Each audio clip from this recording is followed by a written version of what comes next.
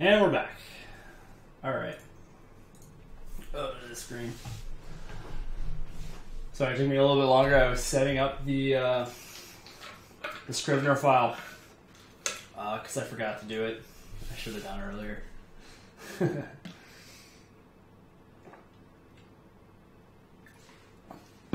so yeah. Um,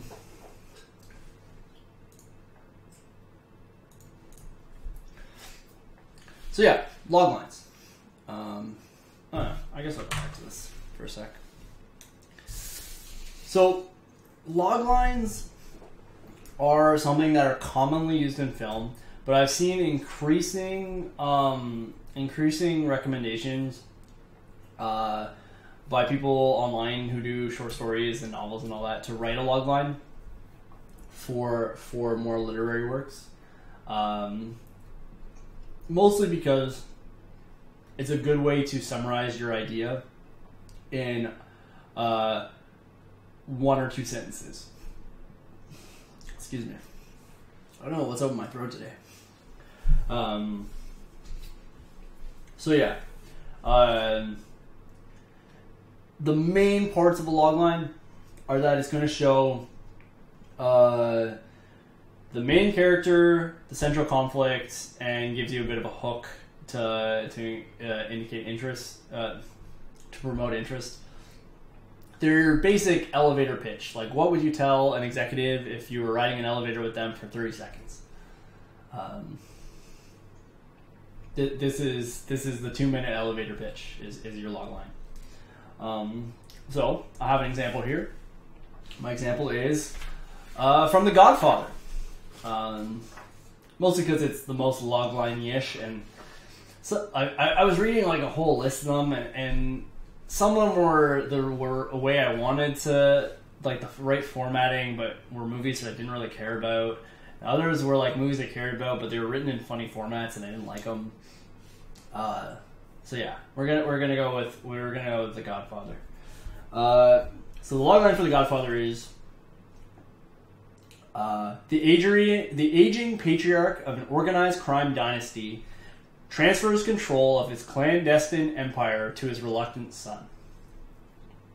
So, in my formula, where you have a character plus a descriptor, i.e., a aging patriarch, followed by an event, i.e., he transfers control, followed by a conflict, the son is reluctant. That's that's how you construct a logline. Um, so we're gonna do that for this story, and it's gonna be bad because I haven't thought of one yet. Uh, but I have, I have, I think, uh, a thing to jump off of. A nice, a nice diving board. Uh, and then, if we can get through the log line in about 15 minutes or so, I do want to do like a one paragraph synopsis. Uh, basically, summarize how I think the plot of it should go, but I don't have a clear idea of that yet either. Um, I have an idea for how I want several scenes to be.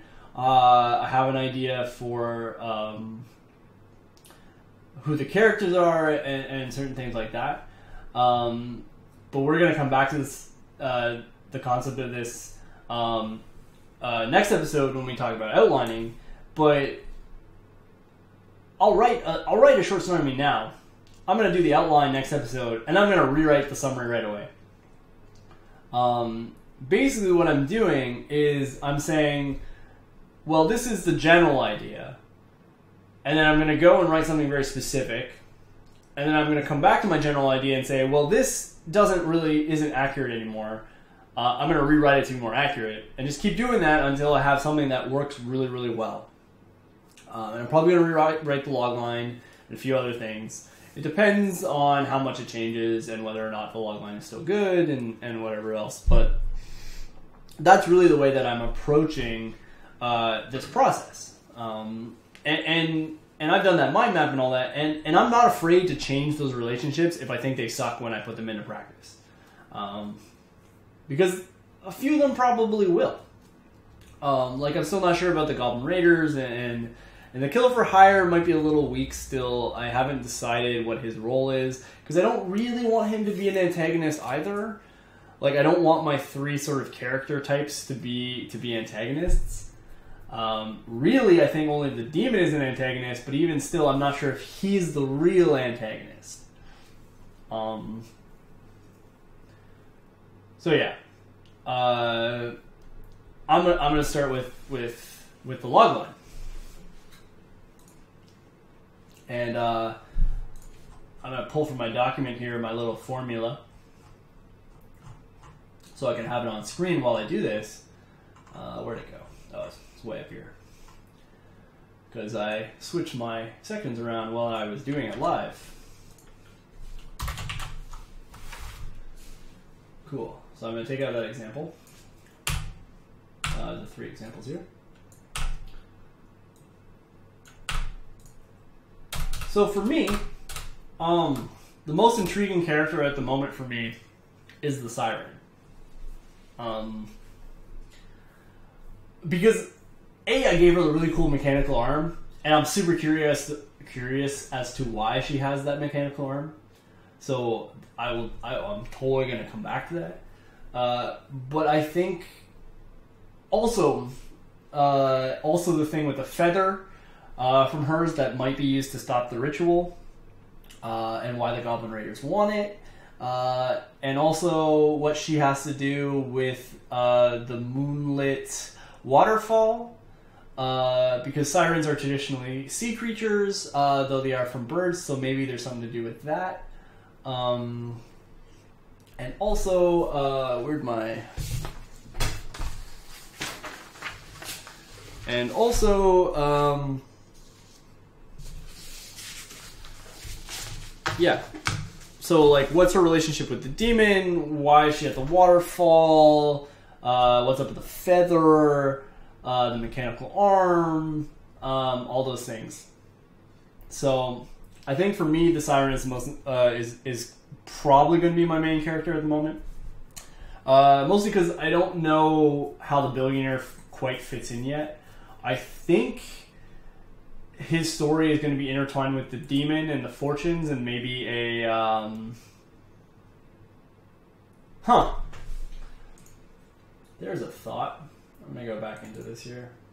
Uh, open. Boom. There's a thought I'm going to write down. I'm to write this down. We're going to make this a Faustian style demon.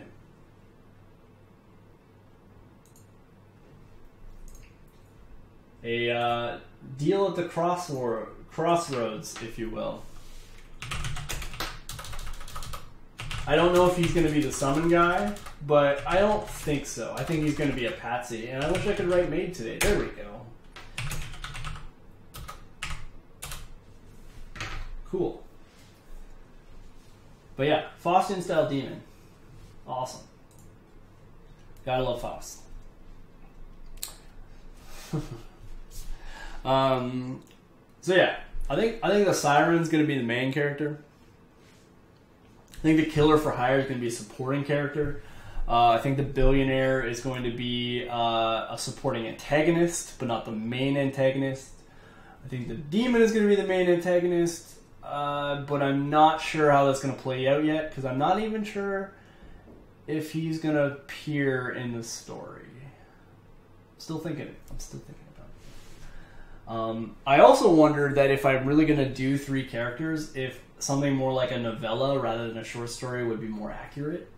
Um, but I'm gonna play around with it and see if maybe I can make it uh, how focused I can get it um, before I I make those decisions.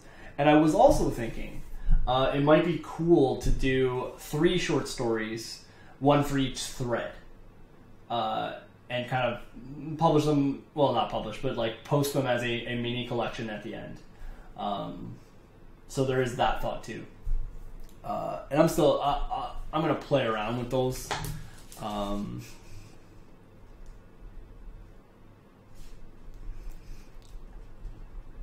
So just making notes for myself for for things to look for later. Uh, when when I go back and do the show notes and all that. Um, so that and also maybe novella. Cool. So yeah, uh, I think the siren is my character.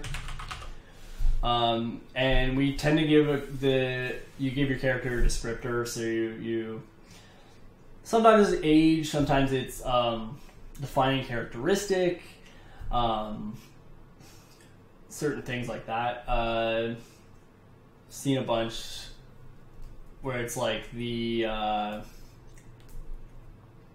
oh, no good examples coming to mind right now, but um, I'm gonna say uh, what's a good term? I want to say disabled, but I don't know if that's the right term. Um, mm, uh, yeah. I have a thought in my head. Give me one second.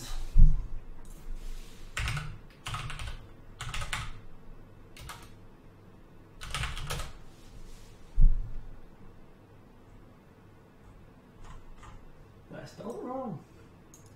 Did I spell it- I think I spelled it wrong.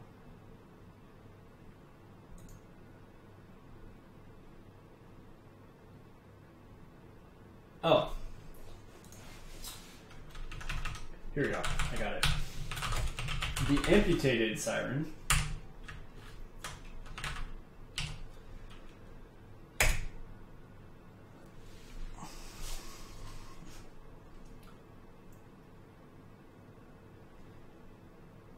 The amputated siren.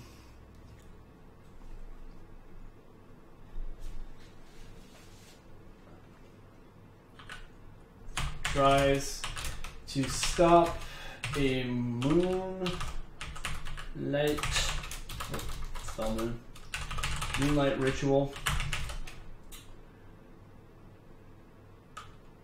and prevent a demon from being summoned. Boom. Basic logline. Amputated Sirens tries to stop a moonlight ritual and prevent a demon from being summoned.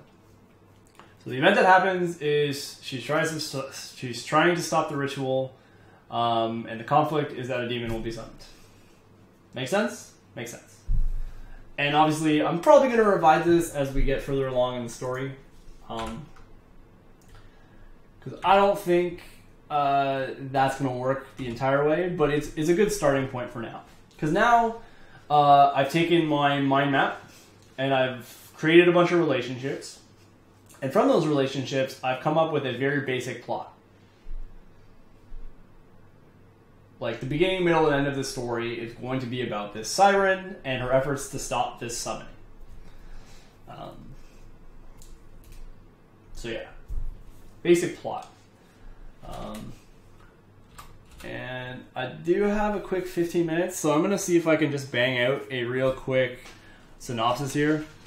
And obviously, this is gonna be real rough and that's fine. Um, because I, again, I'm I'm going to I'm going to rewrite almost all of this, guaranteed, uh, at some point.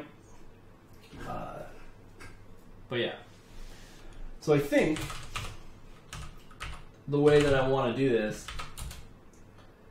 um. So think of a synopsis as kind of like if you were sitting down with your friends how would you describe a movie to them? Right? Like if you had, you know, you're, like, you're sitting down with your buddy at, at the lunch ta- at the lunchroom table, like how would you describe a movie to them in like a few sentences? Like what is a movie about? So for me, um, a couple of the details that that really jumped out at me from from our mind map um, are uh,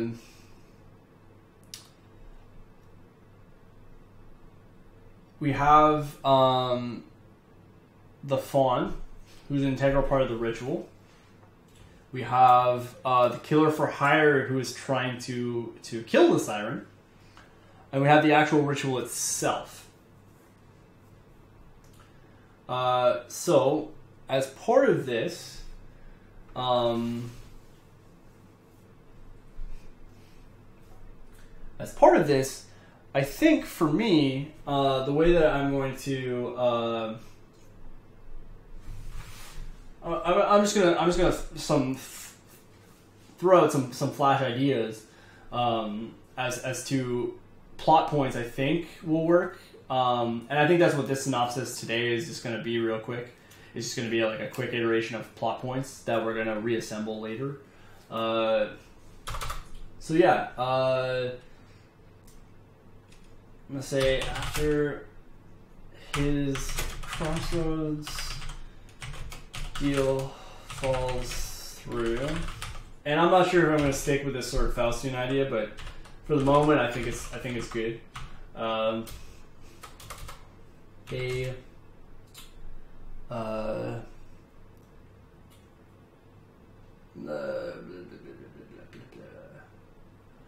fallen nah I'm gonna say destroyed billionaire seeks to regain his power by summoning the demon he made a deal with. Or to do that, he needs blood of a fawn and the feather of a siren.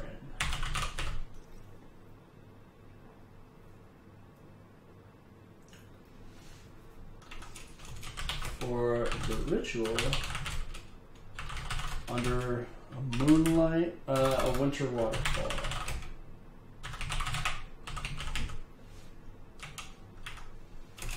during the rising moon.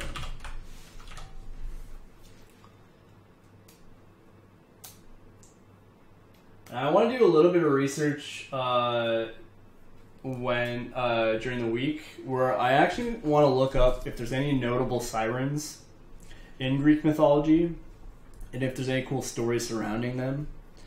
Uh, because I'm curious now as to whether or not I want to do it like kind of like you do the muses, right? Like Calliope is a muse, um, sort of style thing. But uh, I have to think about it, and I gotta see if there's actually any any cool things. So.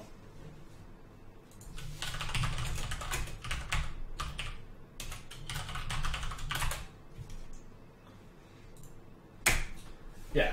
So under water rising moon. Uh, and ancient siren, and this is gonna be super typical, and I'm probably gonna cut it later, but I'm gonna it's gonna it's gonna stay there for now. I'm a little iffy about it. I'm a little iffy. Ah no, I'm not. I'm, I'm cutting it. I'm cutting that idea. I don't think it's good. I'm good. I'm going to do. It I think it's good.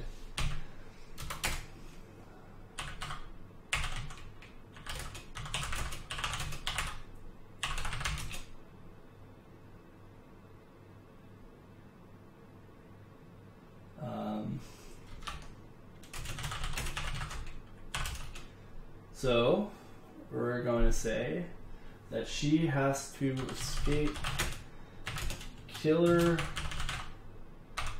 for hire and goblin raiders looking for feathers.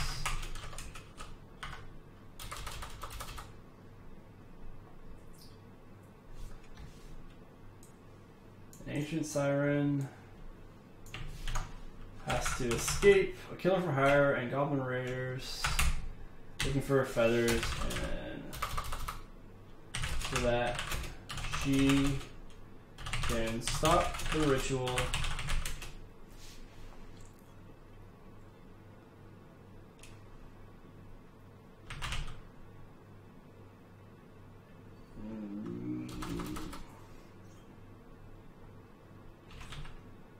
prevent the demon from being summoned.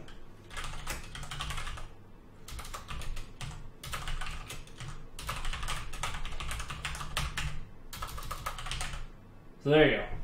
There's there's my general synopsis, uh, which will give me a great a great sort of thing to start outlining. Uh, which I'm, I'm, glad I got to it because it, will be a good a good foundation to start outlining from on the next episode. Um, but yeah, uh, I think that's all I got for that part tonight. So, uh, as always, for the last part of the show,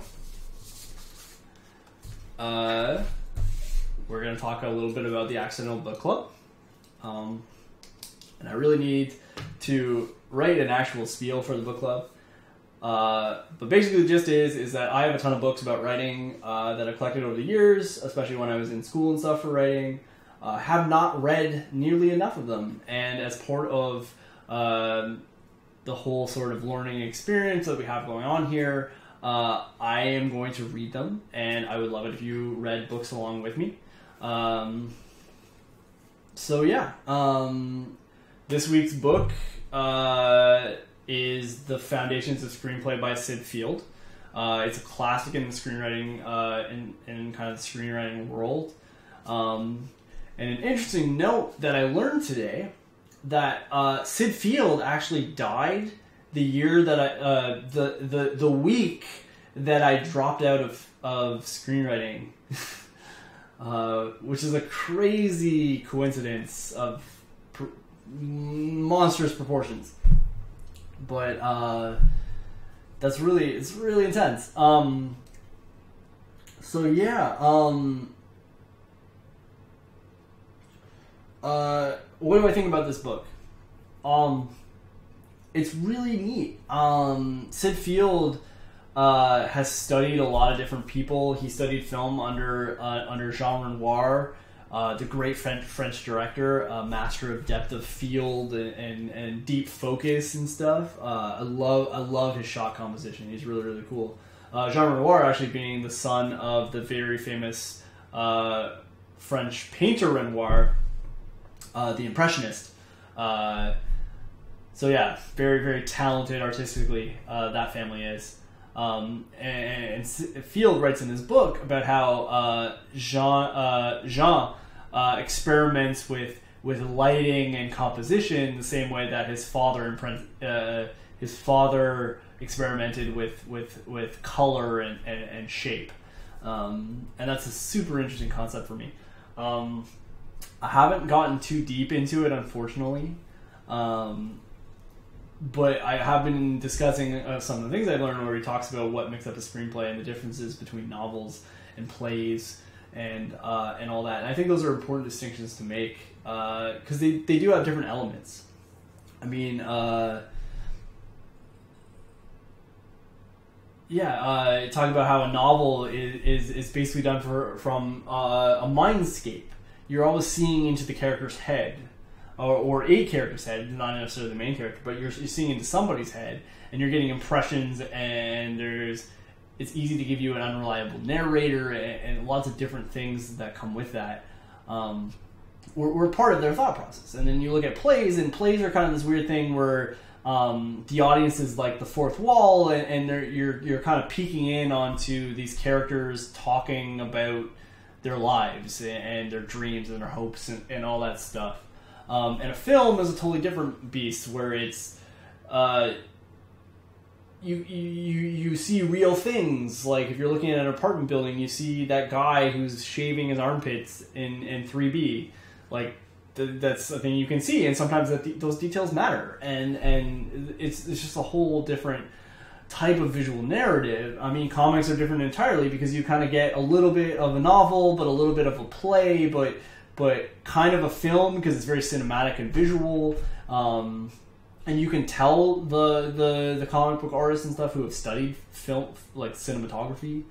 Uh, they, they have a different approach to it. Um, and, and and you can do interesting things with the way that the panels are laid out and and, and pacing of panels and splitting up dialogue in certain ways and, and a lot of things that you can do with that. Uh, so there, there I'm glad that he, he talks about those things because I think they're important to learn. Uh, his ideas about uh, the construction of a novel, or sorry, the construction of a uh, of a plot are, are super important, and, and I and I brought it up here. Like this is the Syd Field paradigm, where you break up uh, uh, the story into, into three acts. Um, the first act is approx- um, and I don't I don't buy page numbers. Uh, the the Hollywood the Hollywood paradigm is is vastly changing uh, from the way it was when when Syd Field wrote and edited this book because um, it's, it's been quite a few years. Uh, but Hollywood doesn't do uh, 90 minute films in the same way that they used to. Uh, he talks about where like uh, uh, like a lot of studios used to have a definite contract on their film where it couldn't be more than two hours eight minutes. Uh, because that was like the maximum like if it was that long or shorter you could you could get the maximum number of screenings so that you could make more money and, and all this stuff. Um, that's not super true anymore. Uh, we see a lot more movies that are more like two and a half hours uh, sometimes longer than that. Uh, especially like those superhero epics like the Avengers and, and Captain America and all that stuff. It, it, it's it's a different style uh, than it used to be. Uh, that's not to say that they still don't make ninety minute movies because they do, uh, but it's it's it's not un, it's not extremely uncommon to see a much longer film. Um, so yeah, I don't buy into the page numbers that he includes in the book. They're not on this actual this this diagram, but they are they are in the book where he talks about you know Act One is like twenty to thirty pages, and Act Two is like sixty pages, and and all that. so so yeah, it, it's it's interesting, um, and and I do actually um, abide a lot by this paradigm. I mean, obviously, it's structure is is super important to how uh, a narrative is, is, is constructed. Uh, and this one is very. Um, Syd Fields is, is the most commonly adopted one uh, nowadays, and uh, has actually draws a lot from Aristotle and, and uh, how storytelling has been for, for, for many, many years.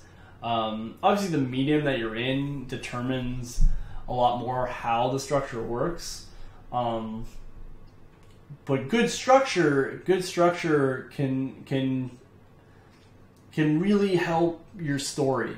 Uh, it helps you uh, a from getting like things like writer's block and all that because you kind of have a clear indication of where where you are and where you're going, and um,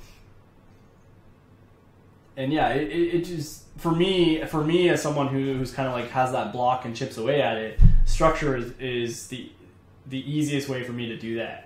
Um, and we'll and we'll talk about these things a little bit more next episode and, more when we're talking about plot and outlining and stuff like that. Uh, but yeah, um, uh,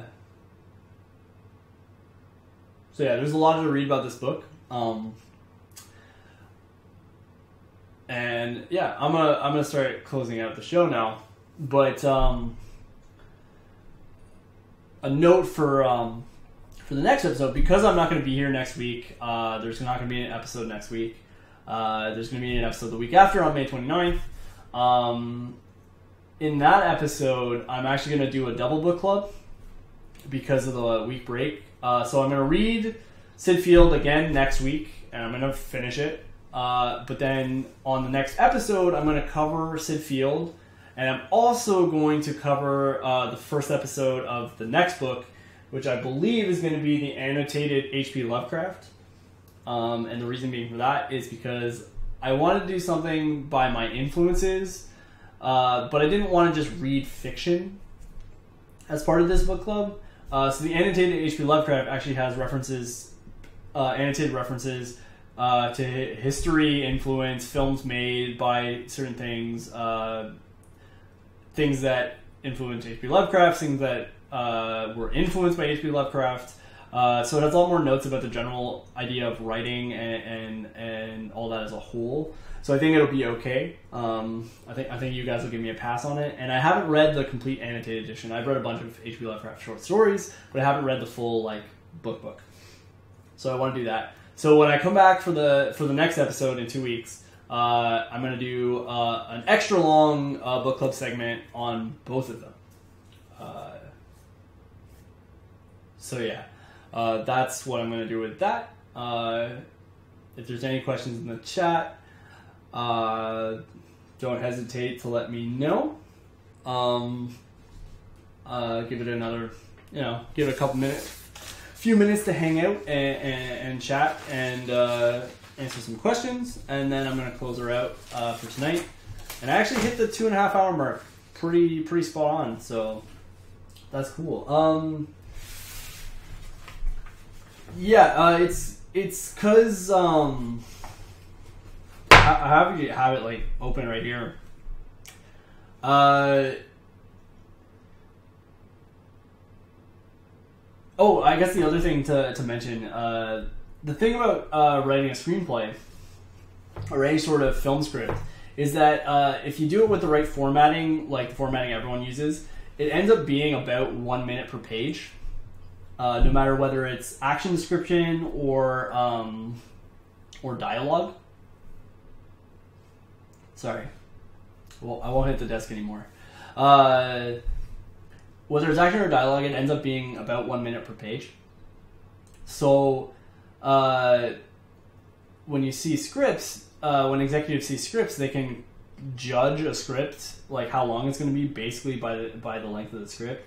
It's not 100% accurate. Uh, there are exceptions. Um, Field mentions in the script that the the Lord of the Rings Fellowship of the Ring is 118 page scripts, but it's like a three hour movie. uh, so yeah, it, it, changes. That being said, I, I actually, uh, as I was reading this, I opened up the Lord of the Rings script. Um, gonna go back to the big face for a bit there. Uh, I opened up the Lord of the Rings script and I was reading it, and the first like uh, few scenes are like minute for minute based on the page, and it's it's really cool. Um, so so the the reason he talks about it being 128 uh, pages is uh, it's it's it's an economic decision. Uh, when the book when this book was written, uh, it's approximately ten thousand to twelve thousand USD per minute to shoot a Hollywood film. Uh, so uh, so like it's expensive to shoot long movies. Uh, I think that's a little bit less true nowadays, um, though it is still somewhat true. I think uh, better technology and and certain things like green screens and a lot of other stuff has made it easier to do certain things so it doesn't take as long to shoot them. Uh, but still takes a long time and it's still expensive. Um, so a two hour movie has an advantage in the theaters because you can put more mo- showings of it in a day uh, compared to a longer movie. More screenings mean more ticket sales and more like more screenings uh, means that they can potentially have more ticket sales because there's more things that people can go to and uh, making more money means m- more movies will be made and it's a business decision and, a lot of stuff. I don't know why specifically 128. I think that's just something that's evolved over time. Uh, but yeah. Um, he also knows that it's, it's kind of weird. He, he knows that foreign films tend to be a little shorter than 120 minutes I've never really found that to be true. I always thought that foreign films were longer. Uh, but I don't know. It's weird, right? Um, interesting on perspective. That being said, I have no idea how many short, like foreign films Syd Field actually watches, uh, other than or or watched. Yeah, and, and so you bring up an interesting interesting point, Sam, where you ask about there's also an ideal length for a movie before people start getting restless, and that's totally true. Um, but but uh, there are long movies that you don't notice being long, and I think that's an indicator of a really good writer when you can be in a long movie and it doesn't feel long to you. Uh, like there's been certain films. Uh, there's been certain films that I did like Gravity did not feel like the length that it did to me. It's pretty long. It's like over two hours. Uh, but the, it, it, it's just it's, it's always got something happening, and and whatever's happening is always important. So, I think I think when you write it well, uh, having a long movie doesn't necessarily mean that it, it, it's restless. It's just if, if it's a long movie and, and it's like it, it, can just be worse. Like, yeah. Uh, what was I watching? There was there was a movie I watched uh, not too long ago. I'll try to remember what it is, but it had like five endings and it was super confusing because I just kept felt like it was ending and then it didn't. Um, and that movie made me a little restless because it was just like it's like oh oh we're coming to a conclusion and conclusion and it's just like nope, yanks it away again, and I was just like oh, I don't know man I don't know. Yeah. Well, and, and I think I think your comment about the public attention span is correct. I think that's why theaters in general are not doing nearly as well as they used to. Uh, um, because there's so much more benefit, there's so many more benefits to watching on demand. Um, like video on demand. And that's why Netflix is way more popular and like all that other stuff. Like, you can watch things at your own pace whenever you want. You can pause things. You can walk away. You can get all the new content. I think there is still always going to be theaters. I think there are going to be. Um, I think they have to be a lot more selective about what they are, what they screen, uh, and what they do. Uh, because I think there are movies that need to be experienced in theater. I think Gravity was one of those for me. Um, uh, Pulp Fiction, seeing Pulp Fiction in an actual theater on the original film reel was amazing. Uh, I would love to see a Kurosawa film on a screen, uh, on an actual theater. Um, I should look out for that. I, I would love to see a Kurosawa film. Uh, I think to a certain extent, big budget Hollywood action flicks uh, like like the Marvel movies and all that are are worth seeing in theater, uh, but I don't think they have to be seen in theater. Unlike movies like Gravity, I think Gravity was a, like a you have to see this in theater type movie. I think the the expansive space and the concept that it's trying to get across just works when it's so much bigger than life. Um, so yeah, that's, that's what I kind of think. Um, But yeah, if that's everything, which I think it is, um, I think that's everything. So uh, I'm gonna close out the show. So my name is Brendan. I'm a writer, and this is Accidental Origin. Uh, just a quick reminder, because I haven't said it enough, I won't be here next week, but I will be back on May 29th. Uh, shows every Sunday at 7 p.m. Eastern. Um, yeah, uh, check out my website at accidentalorigin.com. Uh, yeah, have a good night, guys.